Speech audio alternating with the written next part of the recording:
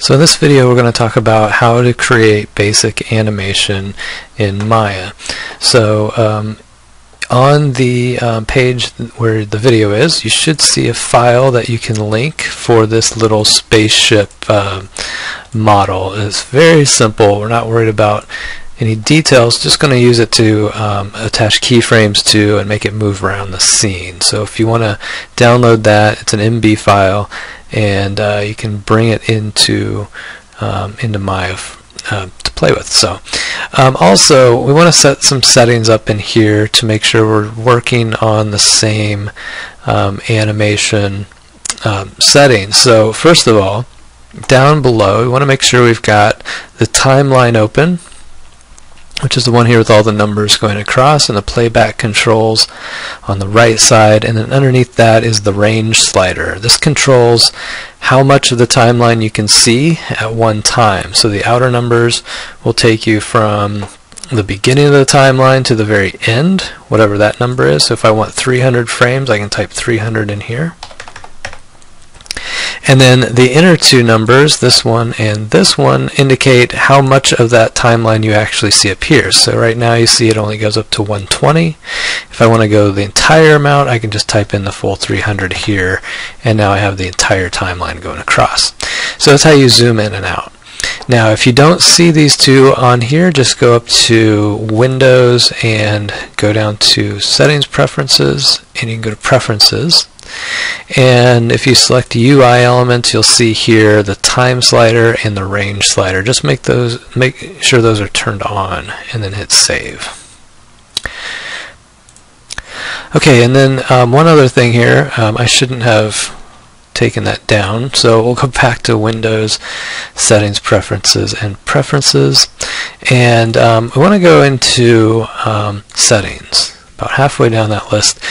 And I'm working with the Y up, y-axis up, and the linear working unit set to centimeters.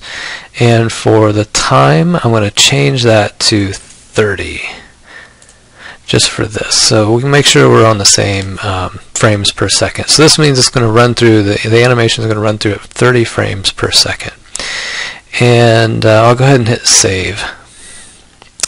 And um, we don't have anything going on here yet, but you notice when I changed from 24 uh, frames per second to 30, it put some 0.25s in there, which is kind of weird. You don't need that, so let's just make sure that's a even 1 on both those. And uh, we should be good. I'll reset this to 300. I don't think we're going to use 300, but we'll go ahead and put that in there. Um, so just how this works. Right here on the timeline we have a playhead. And you can move that, scrub the playhead back and forth. You could also type in the exact um, frame number that you want to use, let's say 50, and it'll move the playhead to that keyframe. Um, we've got it set to 30 frames per second, which means that if we have 300 frames, that's going to be uh, 10 seconds worth of animation. So this playhead would be going across here at 30 frames per second. And, um, and that's where we kind of figure out what amount of time we need for the animation. Alright, so let's jump right in here and start um, putting some keyframes in. So I'm going to select this object and um, I'm going to make sure my, key, my playhead is set to frame 1 and I'm going to start off by just hitting S on the key keyboard and that will set your first keyframe. So when you do that you'll see a little red line show up on the, on the timeline here and in the channel uh, channel box you should see um, red going all the way down all through the channels here indicating that they all have a um, a keyframe for that. So basically what we just did was we told Maya that we want this object to be at this location right here on frame 1. Okay, so now let's, let's move um, the playhead out and let's just go one full second to frame 30 and then I'm going to move the object. So let's lift the object up off the ground and you want to move it roughly kind of idea is you know we're out one second so here how far do you want this to go in one second that's about you know where you want that to go so when you've got it positioned where you want it mine's at um, 7.26 in the y-axis, hit S on the keyboard, and now we've keyframed it to be at that location 30 frames into the animation. Alright, so let's take a look at what's going on here. Uh, we can we can go back to the timeline and let's just scrub it with the mouse and see what that movement looks like. So you can see here and now I'm just scrubbing it with my hand, so I don't know that this is exactly what it's going to look like because um, we're, we're setting it up to render at 30 frames per second. So it could be a little bit different, but we're at least getting an idea of what's going on here so you can see the movement that's taking place. Okay, so let's say that we want to keep moving this around the scene a little bit. Um, let's let's say that we want to keep this object hovering at this height for one full second. So I'm going to move the playhead out to frame 60, which would be two seconds total, but one second further.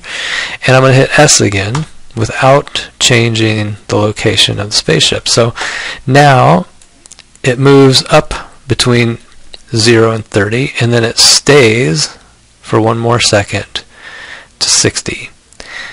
And now let's go ahead and move this someplace else. So I'm going to go out maybe another, just I'll just go every second here. And I'm going to move this over to the side and maybe up a little bit. And I'll keyframe that. And then we'll move the timeline again. You always move the timeline first and then you move the object. Otherwise, uh, it'll end up resetting your timeline. So we'll go back up. Let's move it around. Keyframe that. And then probably just going to leave it there for just a little bit. So I'll go to 150, which would be 30 more frames. Keyframe it again. Go to 180. I'm going to move it down.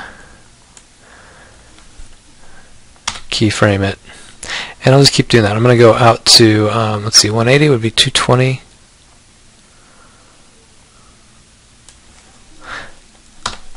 And then 250. We'll let it come up. And then I'm going to bring it over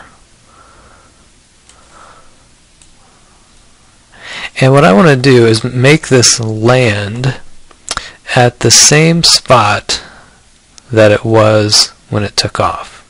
So what we can do is we can go back to frame 1 and come up here and see what the actual translate X, Y, Z and rotates and everything were. So the only thing I need to do really is make sure that my translate y is set to 0.919 and everything else is 0. So if we go over here to frame 280, let's just type that number in. So it was 0.0919.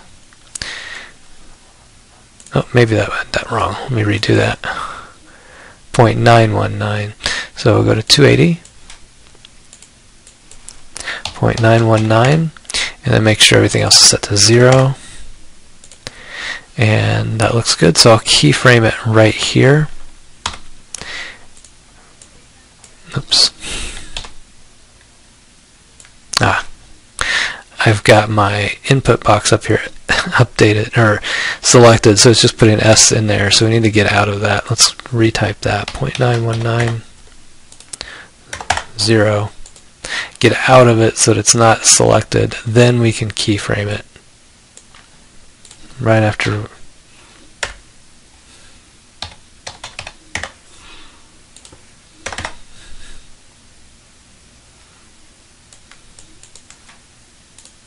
Okay. Now hit S. And we've got that in there. Um, so now you can see that it's moving around the scene. and then it lands in the exact same location. So I'm going to keyframe it one more time at frame 300. So hit S, and that'll keep it there. So it lands with about a one second pause, and then it'll take off again. So let's go ahead and save that. And once you have it saved, we can um, go ahead and just kind of scrub the playhead again just to see if it works correctly. Um, and notice, you know, I didn't keep all the movements exactly the same. All my keyframes are spaced evenly apart, but um, some of the movements I made it go further and sometimes shorter distances, so that changes the speed up a little bit. It's not quite so mechanical and um, boring looking. So we'll leave it at this, and let's do a quick uh, play the playhead over here. So click on the little play arrow, and you can see what we've got, and it looks like a very quick mess. So stop that. And what we need to do is tell it how to play the animation back so we can see it at the actual 30 frames per second.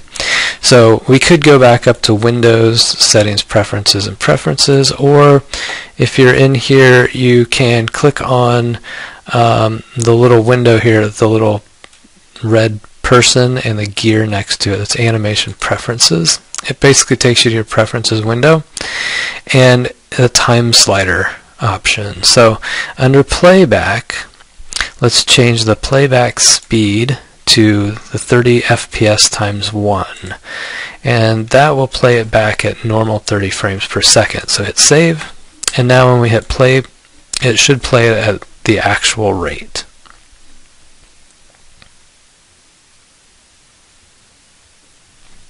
And there we go.